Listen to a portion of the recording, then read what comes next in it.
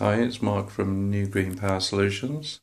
Just want to show you the difference between our 7 watt GLS A60 LED bulb and standard so-called energy saver uh, 11 watt CFL bulb. Uh, as you can see I've got two lamps, identical lamps, and inside are the two bulbs. So first off the the energy saver isn't too pretty, but there it is. That's 11 watts, and there's our our 7 watt LED bulb. Uh, so I'm just going to turn the turn the lamps on, and we'll see the difference.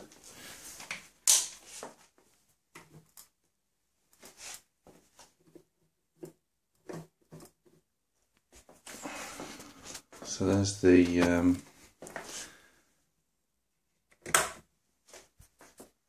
there's the lamps on now and you can see immediately that the the LED is a lot brighter initially because it comes on instantly at full brightness.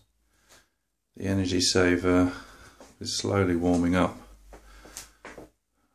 but still looks a bit dimmer through the shade. Um, slowly warming up, but as you can see the LED is comparing pretty favourably and it's a lot less power and obviously a lot safer as well. You can touch the bulb and uh, that CFL energy saver, if that smashes, it will give off some nasty chemicals.